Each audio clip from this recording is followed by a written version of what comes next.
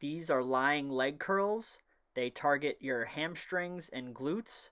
When performing, you want to control the weight coming up and going down, focusing on the squeeze at the top.